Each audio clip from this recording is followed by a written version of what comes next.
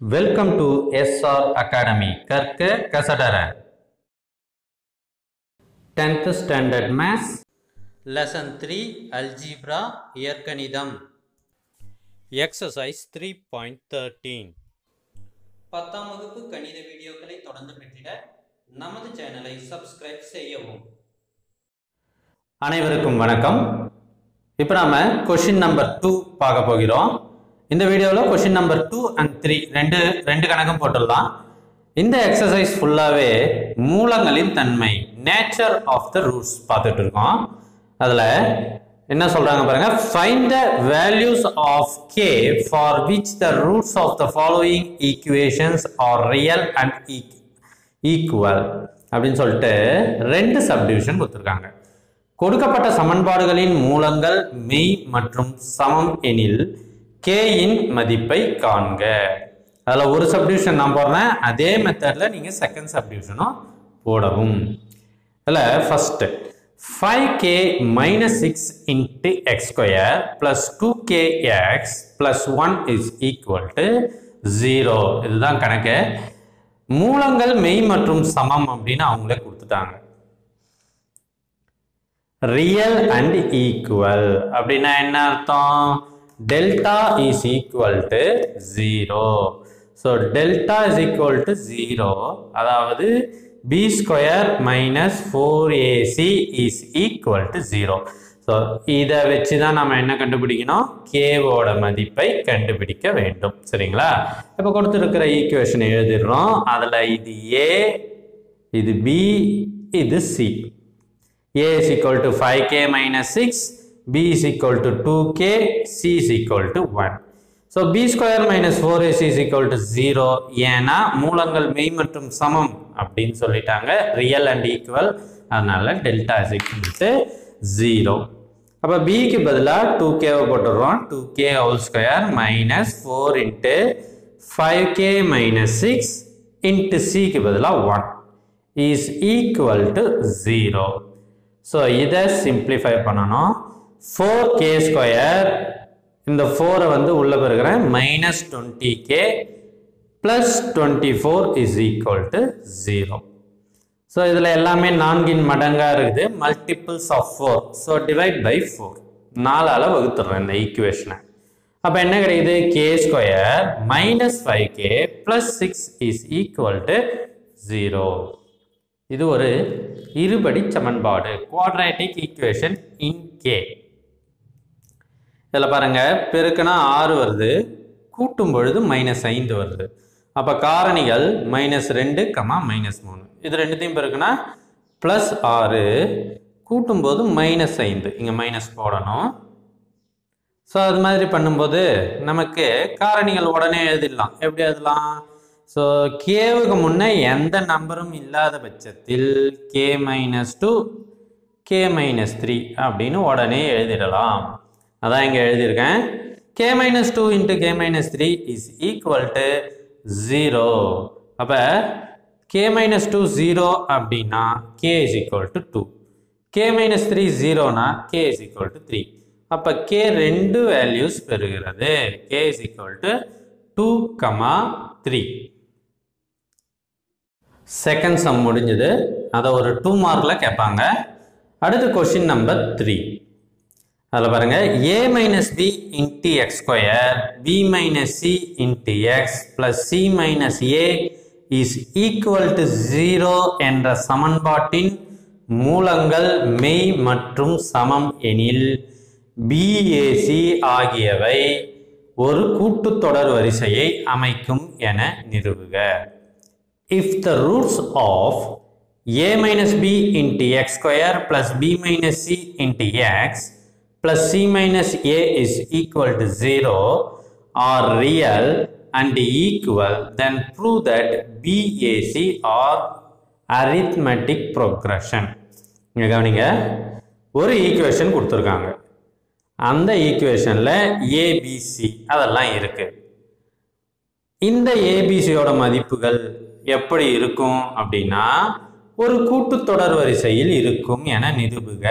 அதை நம்மளை நிரூபிக்க சொல்கிறாங்க அதில் கவனிக்க வேண்டியது பிஏசி அந்த வரிசையை தான் கொடுத்துருக்காங்க. அதாவது அந்த தொடர் வரிசை முதல்ல பி அடுத்து ஏ அடுத்து சின்னு தான் அமையும்.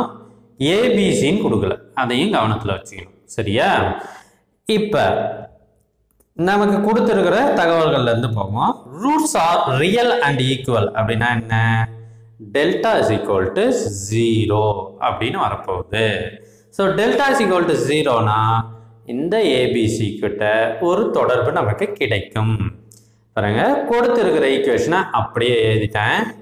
இப்போ A is equal to A minus B B is equal to B minus C C is equal to C minus A இதெல்லாம் கேபிட்டல் லெட்டரில் கொடுத்துருக்கேன்.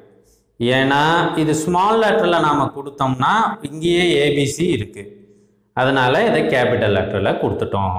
அப்போ டெல்டா இஸ் ஈக்குவல் டு இதுவும் பாருங்க கேபிட்டல் லெட்டரில் எழுதியிருக்கேன். அது மாதிரி எழுதலாம் தவறில்லை. B square minus four AC is equal to zero so பிக்கு பதிலாக B minus C the whole square minus four into A minus B C minus A is equal to zero இதை எக்ஸ்பேண்ட் பண்ணுறோம் என்ன ஃபார்முலாவில் அப்படின்னா A minus B the whole square ஃபார்முலாவில் expand பண்ணோம்னா A square minus two AB plus B square அதற்கு B square minus two BC plus C square அப்படின்னு கிடைக்குது. இது வந்து இதையும் இதையும் பெருக்கி விட வேண்டும். இட் ஷுட் மல்டிப்ளை ஃபோர் அப்படியே வெளியே இருக்கு. AC minus BC minus A square plus AB minus into minus plus B into A AB சரிங்களா? இந்த ஸ்டெப்பு புரியும் சாதாரணமாக பெருக்கியிருக்கேன் அவ்வளோதான் இப்போ ப்ராக்கெட்டுக்கு உள்ளே இருந்து வெளியே எடுக்கிறோம். இதில் எந்த மாற்றமும் வராது. First bracket B square minus two BC plus C square இந்த மைனஸ் ஃபோரை உள்ளே இருக்கிற எல்லா டேர்மோடையும் பெருக்கிறேன். பாருங்கள் மைனஸ் ஃபோரை பெருக்கிறேன். ப்ளஸ் ஃபோரை பெருக்கணும்னு கிடையாது. Minus four into AC minus four AC minus into minus plus four BC minus into minus plus four A square minus four AB is equal zero இப்போ இதை A square B square C square என்றவாறு அடுக்குகிறோம். அப்படி அடுக்கும் பொழுது four A square plus B square plus C square அப்படின்னு வருது. அதுக்கப்புறம் மைனஸ் ஃபோர் ஏபி இந்த டேர்ம் வந்துருச்சு ப்ளஸ் டூ பிசி பாருங்க பிசியில் மைனஸ் டூ பிசி இருக்கு ஃபோர் பிசி இருக்கு. இதில் நம்ம கூட்டும் பொழுது ப்ளஸ் டூ பிசி கிடைக்கிறது. மைனஸ் ஃபோர் ஏசி இதில் இருக்கிற எல்லா டேர்மும் இங்கே வந்துடுச்சு இஸ் ஈக்குவல் டு ஜீரோ இதை நல்லா பார்த்தீங்க அப்படின்னா நமக்கு ஒன்று தெரியுது. A plus B plus C the whole square ஃபார்முலாவில் இது இருக்குது அதனோட ஃபார்முலா என்ன பாருங்கள் A plus B plus C the whole square is equal to A square plus B square plus C square plus two AB plus two BC plus two CA இந்த ஃபார்மில் இப்போ வந்திருக்கு. அதனால் இதை நாம் சுருக்கும் பொழுது two A minus B minus C the whole square is equal to zero அப்படின்னு வருது இரண்டு பக்கமும் வர்க்கமூலம் எடுக்க taking square root on both the sides root எடுத்தால் என்ன ஆகும் ஸ்கொயர் கேன்சல் ஆகிடும் ஜீரோவுக்கு ரூட் எடுக்கும் பொழுது நமக்கு ஜீரோவே கிடைக்கிறது.